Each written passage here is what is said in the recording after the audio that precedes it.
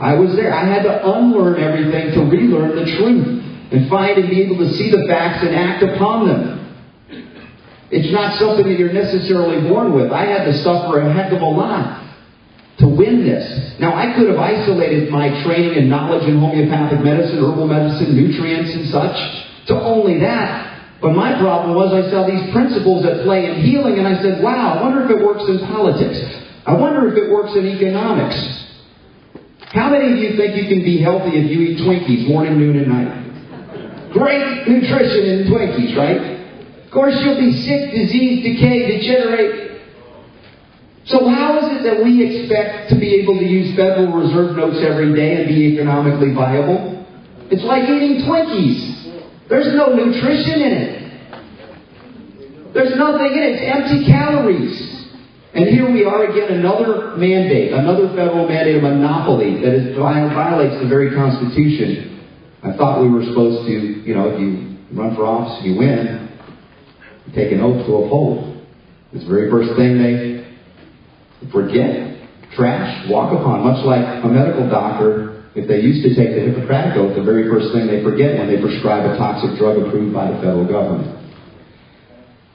Healing is your birthright, and I think healing this nation is a birthright that we all share as well, should we desire to do it. It's not guaranteed that the United States of America will go on forever. It was never guaranteed. It was up to the posterity, as they called us when it was uh, formulated, formed, to be vigilant enough to not allow to, to not allow to happen what has happened. Where we have a government that has run roughshod over the rights of the states and the people. Yet it was the states and the people that created that federal government. Now there's something on planet Earth called the law of cause and effect in physics. And Jesus says, as ye sow, so shall ye reap. Is there an exception for government? Because the illusion is we can do whatever we want as long as we're in a government situation or even an artificial creation of the state. That's a corporation. We can do whatever the heck we want. There is no, somebody say, karmic retribution. Because we are shielded from liability. That is the biggest fallacy that can only be held by someone with such a low level of maturity. We'd have to call them immature, and that would be kind. But those people in Washington, D.C., by and large, maybe with rare exceptions, someone like Congressman Ron Paul has been doing it for years, don't seem to think that the laws of nature apply to them. Do we have to suffer equally? Medically, do we have to beg the government once we may have cancer because of our own lack of understanding that we have a constitution, we have to feed it, we have to pull out the pollutants that damage it? When we end up one day maybe with cancer, like my grandparents, like my aunts and uncles in their 50s and 60s, I would not be alive today in my 40s, thriving, much less alive, had I not made the changes that I made to nullify the federal government. I did what they said is not allowed. It's against the law. It's illegal. I can bring healing to you, not because I'm any more special or knowledgeable per se. I guess you could call it that, but I think I listen. And I think that's why we're in a, a heap of pain right now because we haven't been listening. I mean, we can, what they say, curse the darkness or turn on the light, right? The suffering that I went through, I am, I've embraced. I mean, my God, if I didn't suffer the way I did with all the ailments I didn't even mention, I could not learn what I have learned today. And our founding fathers, the framers of the Constitution, suffered immensely, as you know from history for what they did, the Declaration of Independence and what followed, so that we would have the blessings of liberty. And we don't have to ask permission. We never had to ask permission. If there wasn't a Declaration of Independence, would that suddenly mean you don't have any rights? If they didn't have a Bill of Rights, would that mean those rights didn't exist? Did the Bill of Rights even grant you any rights? Absolutely not. All of those things were designed to limit the government so that it would not infringe upon those rights, so they didn't write them all in there, as you know. Our birthright is not only in healing, which is, of course, a big passion of mine, but it is in freedom. But we can't force the world to live free any more than the federal government can force us to be free, because Well, let's face it, it's the opposite that they're trying to do by gunpoint. By not allowing us to do that which, again, is our birthright here. Now, I, I, I don't mean to sound pessimistic. I hope I don't. I mean, I'm actually quite optimistic about the future because I've seen people that have come to me with ailments that for sure, if they went to modern medicine, they would be dead. And they're alive today. And they're thriving today. Not just a little bit. You know, you want to talk diabetes, gone. Infectious disease, gone. Cancer, done. Regularly. It's not supposed to be possible but it's transformed them in such a way that they now recognize and look at life differently. They value it differently. They live, they eat, they sleep, they breathe differently. And I think what's happening now is forcing us to do the same.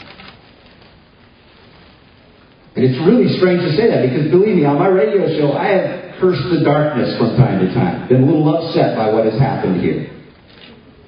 Obama was only made possible by Bush before him. So it isn't just that it's an R or a D or an L or a C. We recognize that liberty is something that is, again, embedded in our DNA, but it was lost. It was certainly lost to me. I didn't know any better. And of course, when illness set in, it was very difficult to live freedom in the way we were designed by God to live. Because I became dependent upon experts, endorsed and licensed by the very government that sought to keep me enslaved and dependent upon them. Because there are people on planet Earth that love to have power. I mean, it's hard to see the cruelty when you look at the vaccination paradigm and what it's done. How many millions of children have been harmed? How many thousands and hundreds of thousands of harms and many thousands have died. In fact, there's been over $1.6 billion paid out since the National Vaccine Injury Compensation Act of 1986 was passed. 1.6 billion has been paid out to families of children who were either injured or killed by vaccination. This is endorsed by your government. And we may here believe, hopefully agree on a culture of life but yet our government endorses a culture of death in modern medicine that is responsible, according to the meta-analysis done by my dear friend Dr. Carolyn Dean, in 784,000 deaths every year caused by government-sanctioned medicine.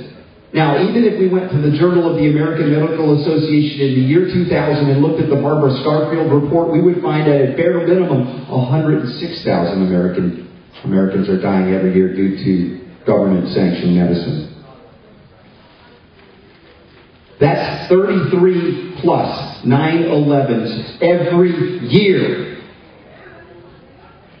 What, what, did we do when 3,000 or so Americans died on 9 11? We supposedly went to war on terror. How did that work out?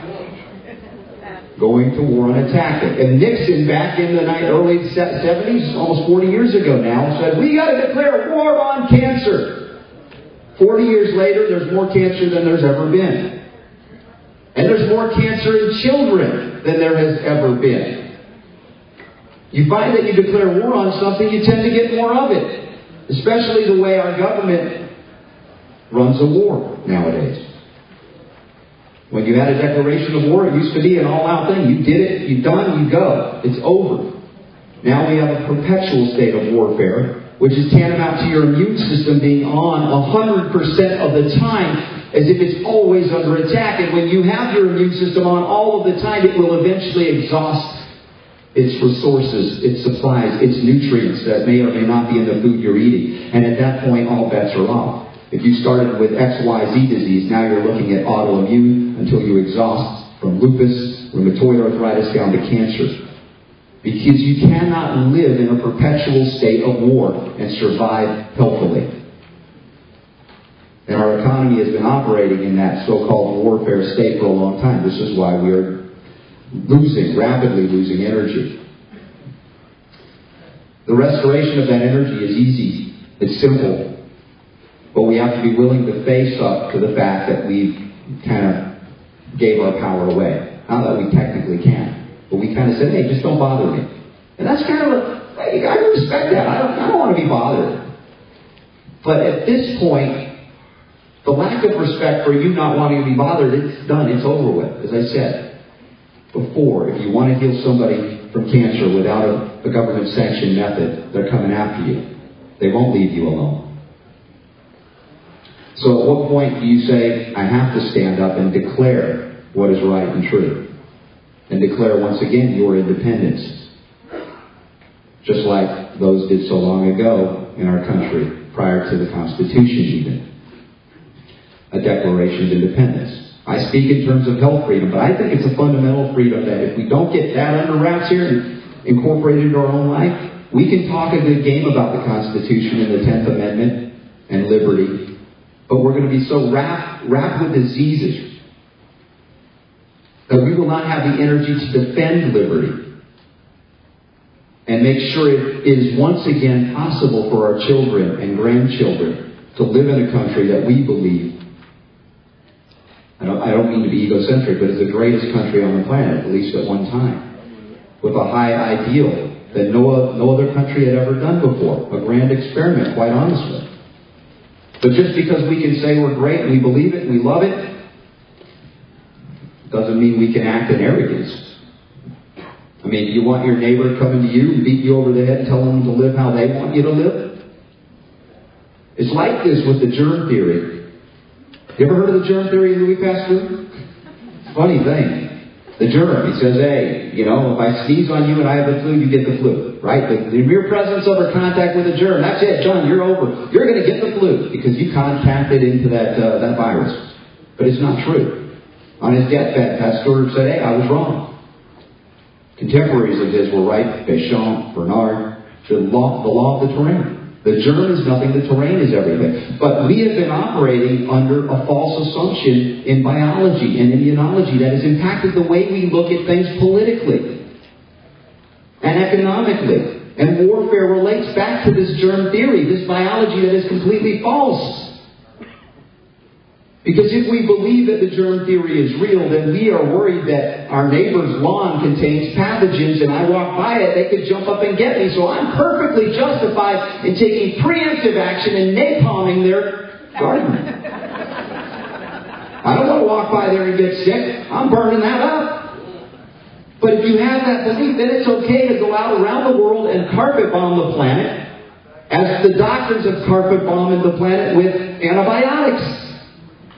Because you never know when Candida is just going to jump out from your neighbor and get you. But the law of the terrain says it much more beautifully and simply and truthfully that it is the terrain, the milieu, or the environment that determines health or disease and not the pathogen. Which means that a healthy terrain begets healthy life. A people that are healthy begets liberty. A people that are unhealthy, sick, breeds dependence breeds Obamacare. And Obamacare really, all it did was mandate that which came before it, the medical monopoly, of which I'm sorry, the Republicans were just as guilty as the Democrats. Rah, rah, no corporatism. So it isn't one man. Certainly we can pinpoint a lot of bad things any one man has done, any one, any one of us here have ever done in our life. But do we beat them up because of it, or do we begin to live differently and become that living example for others? I am alive today because of people that have had worse diseases than me and have recovered. Despite the fact that the government, all the doctors said it is not possible to recover, you will not live. And I know differently. And once you know that truth, you can walk that truth, you live that truth, you will impact and impart that truth on others. Not necessarily because the words you speak but because the way you live. And nullification is that way of life that doesn't ask for permission where none is required. And it's not required. So stop asking.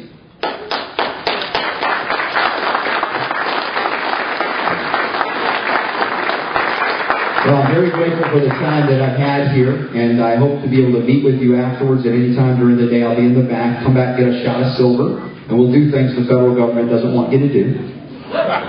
My show, I'm kicking off Monday through Friday with Mike Adams of naturalnews.com. We're going to be streaming it live starting Tuesday, February 1st. You can still hear my show on Sundays. Just Google my name, you'll find it, or come back and see me. Again, I'm very grateful to Bryce Shanka, Michael Boldin, the 10th Amendment Center. Please give them your support, and I appreciate you all being here. It's going to be a great, great afternoon. Thank you.